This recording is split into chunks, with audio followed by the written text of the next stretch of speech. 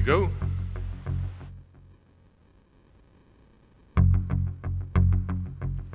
The hour has Morning. come. And Mr. Decker, I would ask that you please call the roll to take attendance. Members that are in attendance will please respond that you are present when your name is called. I want to thank you very much. Councilwoman Bass. Present. Councilwoman Brooks. Present. Councilman Domb. Present. Councilwoman Gauthier. Present. Councilwoman Gilmore Richardson. Present. Councilman Green. Present. Councilwoman Gym. Present. Councilman Henon. Present. Councilman Johnson. Present. Councilman Jones. Present. Councilman O. Present. Councilman O'Neill. Present. Councilwoman Parker. Present. Councilwoman Quinones Sanchez. Presente. Councilman Squilla. Present. Councilman Thomas. Present. Council President Clarke. Present. We have established a quorum of council, and we will now come to order. Despite the need, there will be no invocation today. We will, however, observe a very brief moment of silent reflection or prayer for our city, its leaders, and its citizens during the current public health crisis. We will have a brief moment of silence.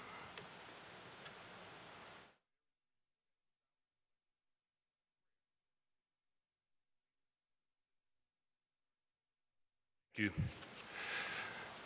Before we begin conducting the business we have for today, I I would like to offer a brief statement regarding the scope of the council sessions and public comment at our sessions during the COVID-19 pandemic. As we all know, Philadelphia is currently operating under a declaration of emergency related to the coronavirus issued by both Governor Wolf and Mayor Kenney. Social distancing rules implemented under the emergency declaration prevents city council from conducting the meetings in person. As a result, it is impossible to comply fully with the state Sunshine Act, which includes requirements for public comment. Under normal circumstances, if council could not comply with the Sunshine Act as it relates to the public comment, council would not act on any legislation at all.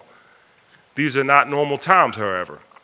So, in an emergency such as COVID 19, the law allows City Council to meet and take necessary actions to address the emergency and to support essential governmental functions without strict adherence to the Sunshine Act. This limited power to act lasts until the governor and the mayor declare that the emergency has ended.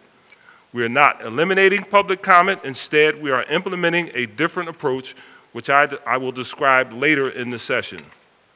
With that said, Council is taking action today solely in order to speed process of appropriating money to agencies and people fighting to keep our city safe.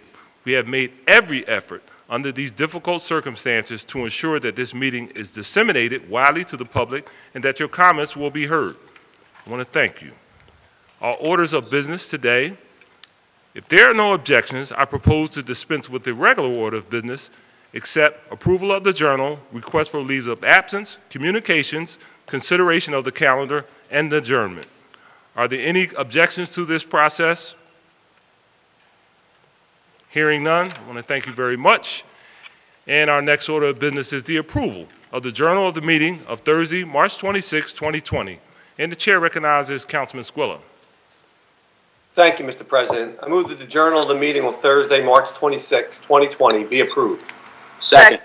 Thank you. It has been moved and properly second that the journal of the meeting of Thursday, March 26, 2020 stand approved. All in favor indicate by saying aye. Aye. Opposed? Ayes have it, and the journal is approved. Our next order of business is request for leaves of absence, and the chair recognizes Councilwoman Parker. Thank you, Mr. President. On behalf of the members of council, there are no requests for leaves of absence today.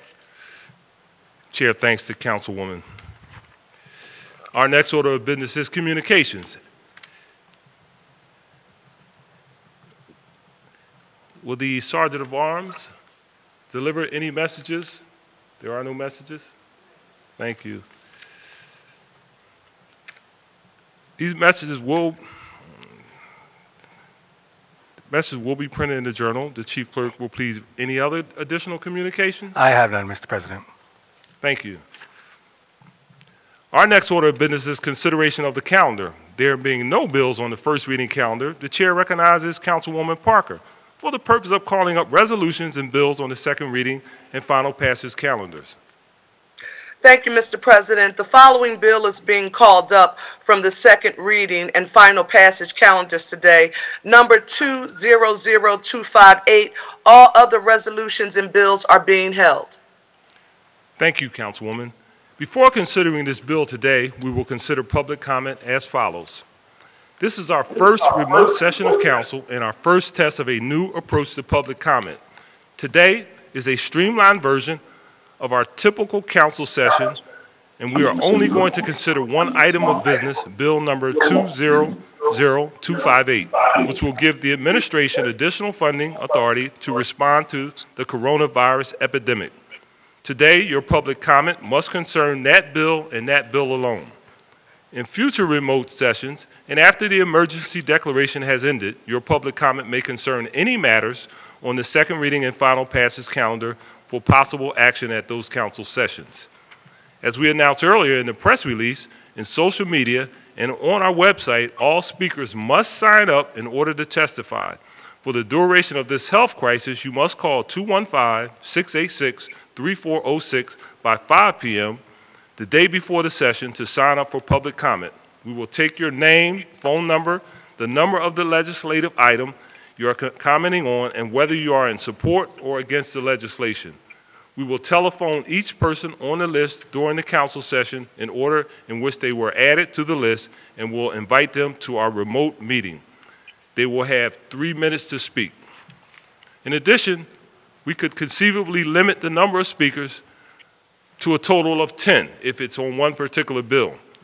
Um, So we will deal with that as time comes on the particular legislative item.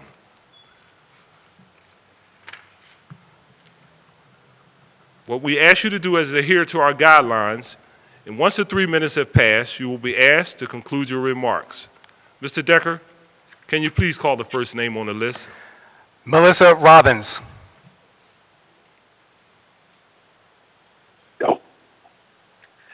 Good morning, council members and council president. Good morning. My name is Melissa Robbins, and I live in Fox Chase neighborhood of Philadelphia. I thank you all for using your resources to allow residents to be a part of today's meeting. Increasingly, we as residents and voters feel a lack of trust with government. I'd like to know how can taxpayers be guaranteed, which we all rightfully deserve, transparency of how the $80 million will be allocated. We all know it's the frontline workers who are underpaid and overworked and who not only risk their lives every day, but they risk the lives of their loved ones when they return home. Small businesses are taking hits and owners don't know where to go. The digital divide is ever more clear and growing. I'd like to know what efforts are also being made to reach out to residents who do not have access to communicate their real needs to their council people. I just I'd like to say I thank you all for your hard work and showing true leadership in such a dire time, and this will end my comment. Does that conclude your public comment today? I want to thank you very much for your comment. Mr. Decker, do you have any additional names? There are no other speakers, Mr. President. Thank you very much. That concludes our public comment for today. We will now consider Bill Number 200258. The clerk will please read the title of the bill. An ordinance authorizing transfers and appropriations for fiscal year 2020 from the Grants Revenue Fund, the Director of Finance, provision for other grants, to the General Fund, the Managing Director, and to the General Fund, to certain Royal City offices, departments, boards, and commissions. Thank you. This bill having been read on two different days, the question now is shall the bill pass finally? Mr. Decker, please call the roll. Councilwoman Bass.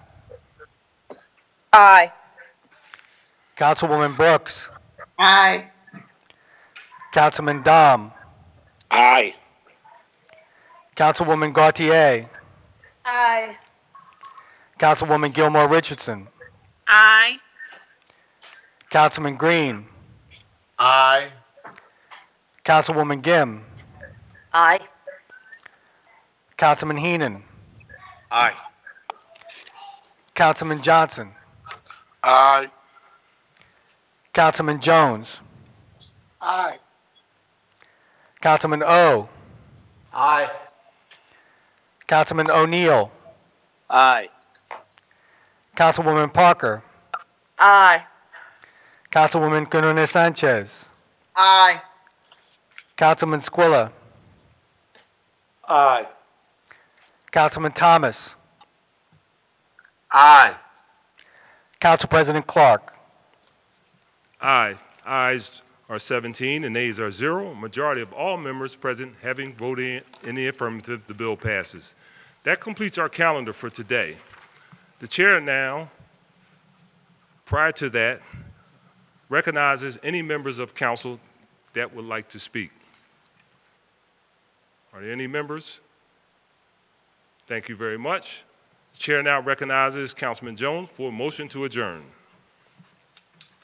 Thank you, Mr. President. I move that council stand adjourned until April 16th, 2020, Thursday at 10 a.m. Second. Thank you. It has been moved and seconded. The council stand adjourned until Thursday, April 16th, 2020, 10 a.m. All those in favor say aye. Aye. Those opposed, ayes have it. The motion carries. I want to thank you all very much. And again, um, everyone, please be safe. Thank you. Thank you all. Have a great day. Thank you. Thank you.